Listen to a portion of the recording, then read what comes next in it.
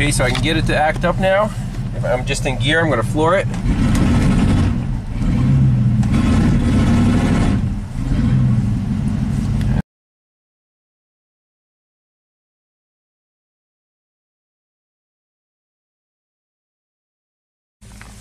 Hi everyone, good morning. Welcome back to Pine Hollow Auto Diagnostics.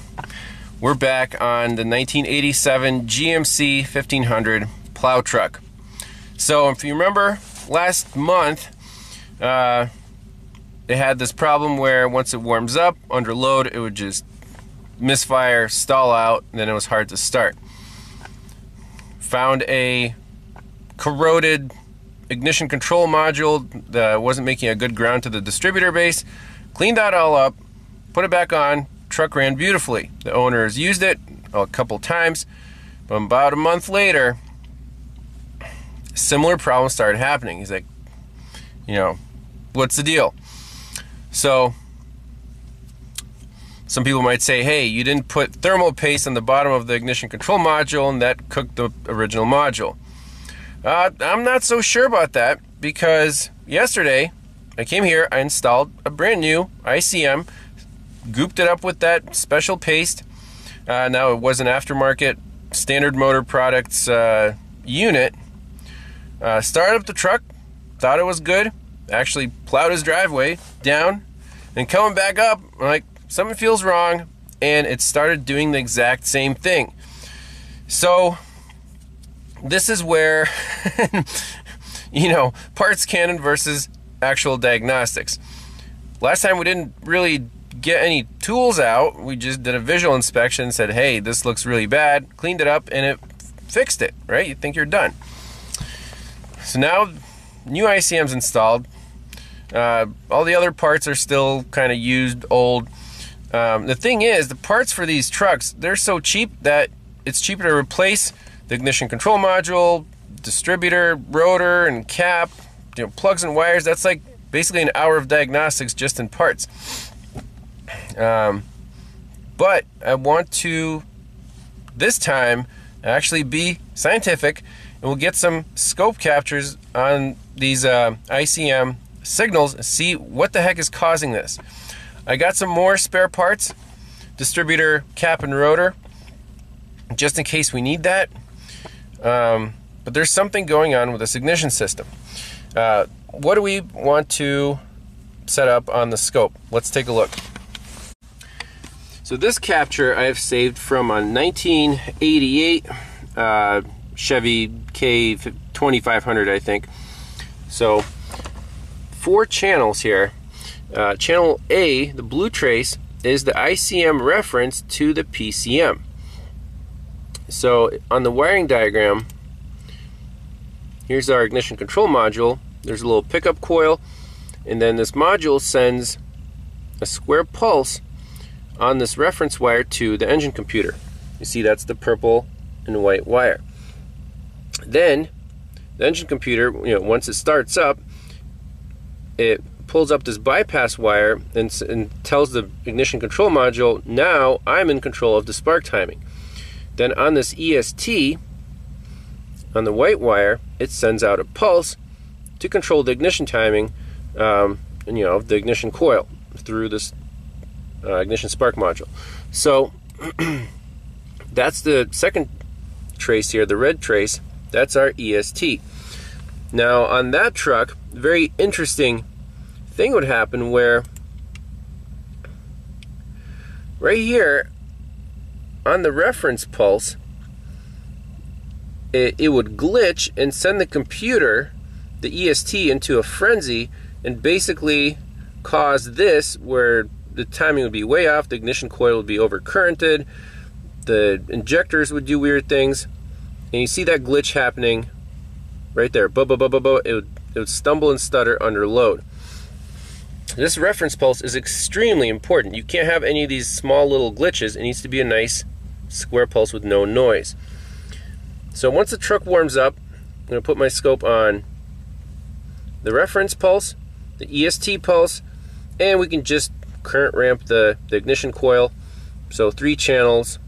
And once this thing acts up, then we can say, is the aftermarket ignition control module bad or potentially the um, if the distributor cap isn't isolating well enough and it looked pretty crappy on the truck the spark could actually shock the ICM and cause something bad to happen. So you see when does this glitch occur? Well that's exactly when the spark this is the ignition coil ramp once the spark occurred look at the reference pulse and went boop so that's definitely not good and then that sends the engine computer, you know, it really confuses it. So I'm wondering if we're going to see the same thing on this truck. We know exactly what to look for. Let's uh, set up the scope, get it to act up, and go from there. So three channels. Blue channel is on the purple and white down there by the ICM. That's a reference. Channel 2, white wire, EST. Channel 3, current clamp on the control wire coming from the ignition coil to the ICM. That's the one that's grounded, pulsed. Um, make sure that current clamp is well clamped around there. One volt is 10 amps on there. There's a pico scope. Close the hood down. Hopefully our wire won't get too pinched. Yep, that's still fine. And I wish Pico would give you a little longer wire so instead of stretching the leads, you just stretch the scope wire. And uh, here we go. So it's fired up. We got nothing on channel 3. Or do we? Let's bump that down. Okay, we do.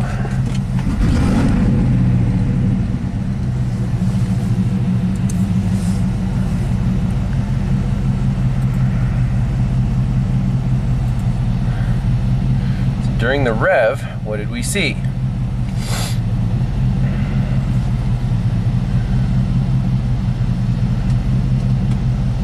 Everything looked pretty good, but it did stumble. So let's keep recording. I'm gonna drive it, and when it really stalls out, we'll, we'll see what's going on.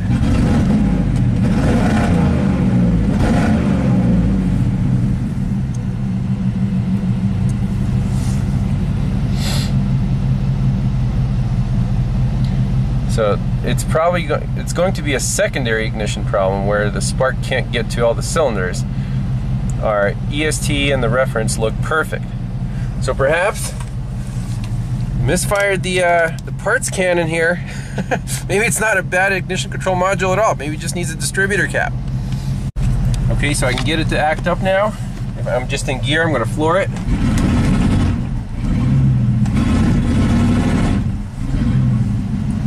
And I'll shut it off.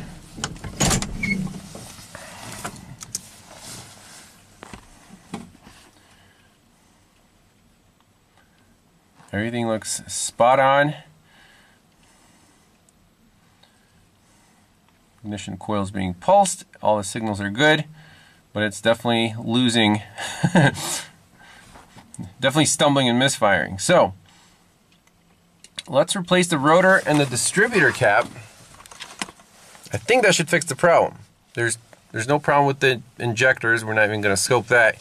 Um, I'm just worried about this ICM sending out the correct reference pulse in the EST. Everything looks spot on. We could probably reinstall the original module or keep it in the glove box as a spare. Alright, we're using some Blue Streak by Standard, made in the USA. High quality ignition parts. I think this should work very nicely there's a new cap. You want to make sure this um, pin here is actually spring loaded. We'll take the old one off and uh, I'll show you what that one looks like. Alright, so here's the old rotor and cap. Now last time I did clean this out, you can see that tower is kind of weird. And this button is not spring loaded, it's just kind of hanging out. There's a lot of dust and crap here. So again, there's not much else it can be. For good luck, I'm gonna spray the inside of the cap with a little WD-40, keep the moisture out. And which ICM should we keep in here? Let's stick with this one for now and we'll leave the old one as a spare. Will be a test for how good the standard T-Series, you know, value line components are. So let me screw that down, put the rest of the wires on, see how this thing runs.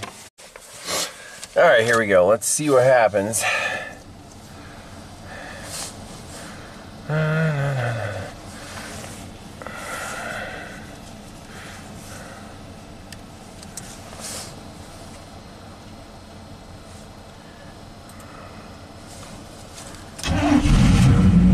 Fired right up. that was pretty instant. Sounds better already. I'll warm it up for a little bit, go up and down the driveway a few times. I think that did the trick. Oh, these old Chevys. You know, there's something to be said for uh, new ignition systems where there's no distributor, no spark plug wires, just coil unplug, computer controls one wire, and there's no moving parts. And your spark plugs can last like 200,000 miles. But you know that's that's progress. But still, these old systems, they're if you maintain them, they're pretty reliable.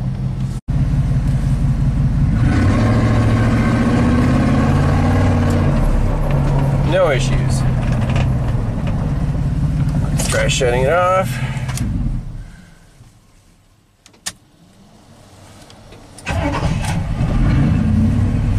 see that EST signal comes online once the engine revs up. Oh yeah. What does Eric O say? That's Chevy Thunder right there.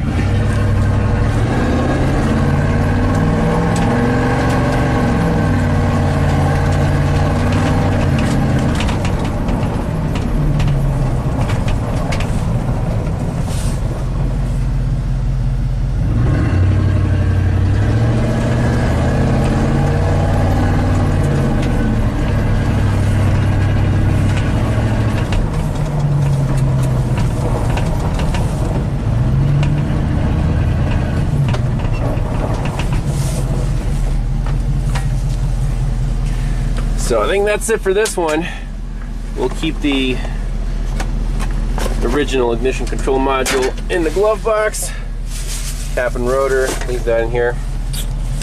That's it. Hopefully uh, there's an update.